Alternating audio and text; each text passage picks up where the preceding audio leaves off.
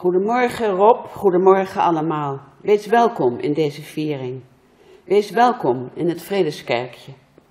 Door het coronavirus kunnen er helaas geen diensten plaatsvinden deze zomer. In ons aller kerkje. Maar de altijd creatieve Engele Wijnsma vond dat dat niet kon en bedacht iets nieuws.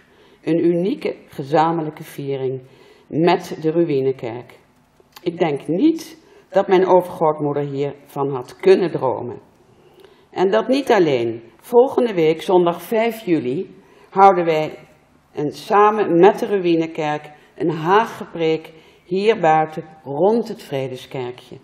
En zo hebben we dan toch twee vieringen in Bergen aan Zee.